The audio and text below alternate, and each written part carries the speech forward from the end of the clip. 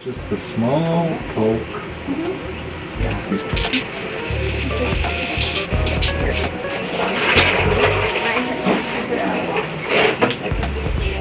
That one's done.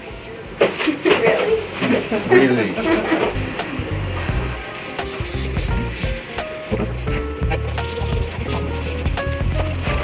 You did it! so you can see no stitches are going to be put in. You can see how tiny that is. There's no more bunionette. It's all gone on both sides.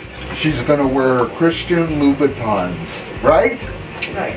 So do you use glue to, that's why I don't have any stitches? Nope. They're not even incisions. They're just little pokes. Mm-hmm. So I don't use stitches mm-hmm. and I don't put metals in. And you're not going to have a cast in crutches. And you're going to walk on this because I'm going to encourage you to walk.